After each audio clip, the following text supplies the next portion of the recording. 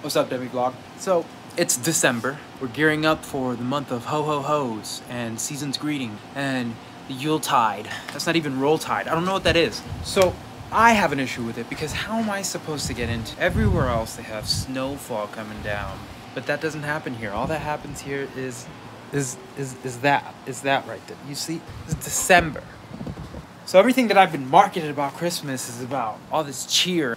So how how am I supposed to feel?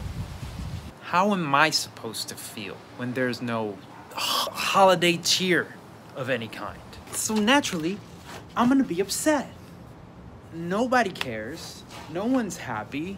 I, I don't think people take the time to, to really think about other people like that. And it's a little upsetting. But whatever, man. It's not like I'm gonna be in the holiday cheer or anything. Damn, I've graduated to the final stages of content creator hell. Going to Target to get Christmas lights. My god, it is the weekend before Christmas. What have I done? Man, do these things even light up? Like, how do we know there's a ever? There we go. It's... I'm actually here for one very specific thing. I need Christmas lights for the Christmas tree at the house. Normally I would just get this online. We're running low on time. Damn. I do want an air fryer. There it is again. Damn. I do need some pots. Oh my god. Target absolutely will not sleep until I get this air fryer. If you're watching, smash that like so I can afford this nice air fryer. Oh man, I think we made it. Now the real question is, will there be any? Damn, what's that? Hold up. The storage spool? All right, I don't need 20 meters of light. This is this is for inside. So close. I guess that's why they're on sale. Looks like we're just gonna have to get with the times. I just have such a small tree, I feel like 19 feet of light is a little extra. Yes.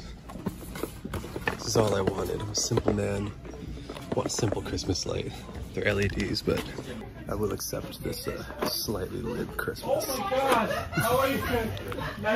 Alright, so the good news was we were able to get the lights. The bad news is that I was not able to find the most essential Christmas accessory for a tree, a star. But I might have one at home. I guess I'll have to dig. I really don't want to.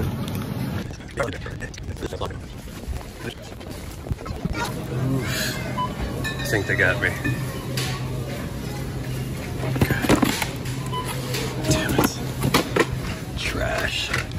Yo, I love the future. You can just check shit out yourself.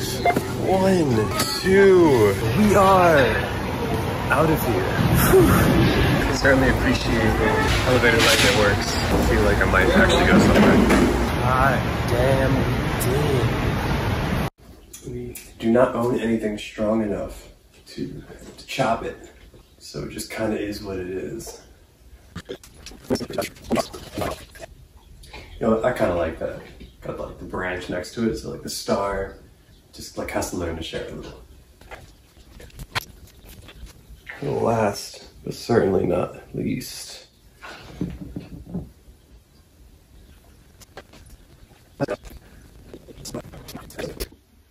let's get some light on this tree. Wow.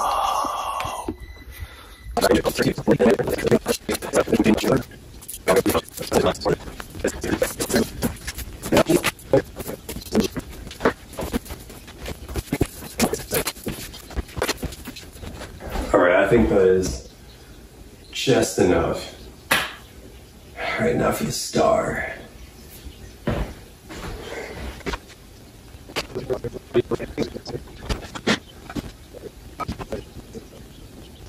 Mm-hmm.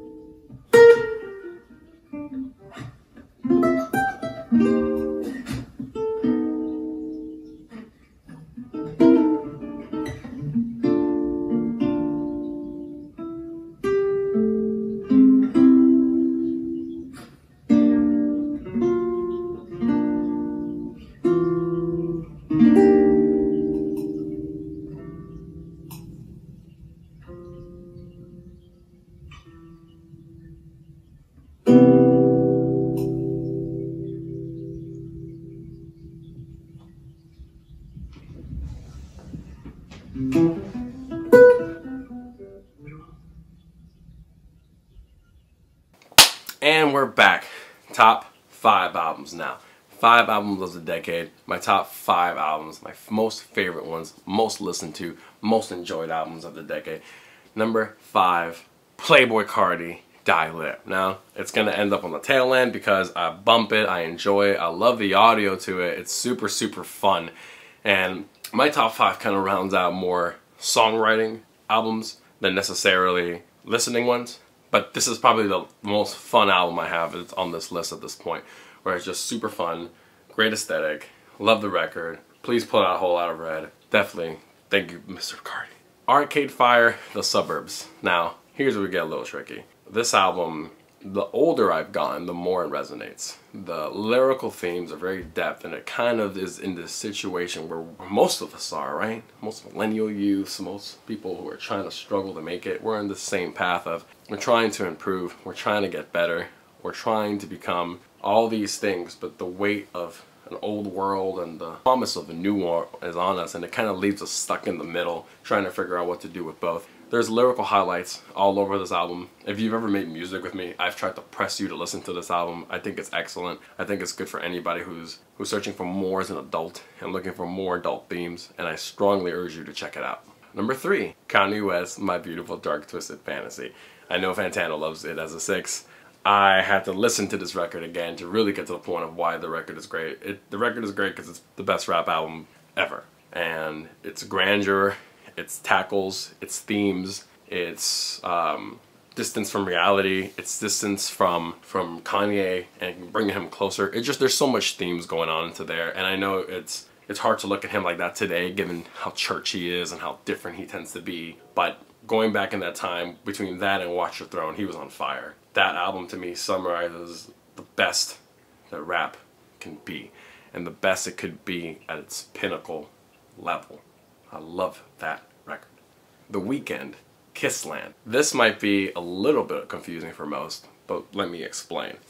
I love the trilogy, House of Balloons, Echoes of Silence, Thursday. But this record to me always gets a bad rap. And I feel that most people never got to understand it because they never got to see it live. I was fortunate enough to see this tour three times. And seeing the live demonstration of Kissland is what did it for me.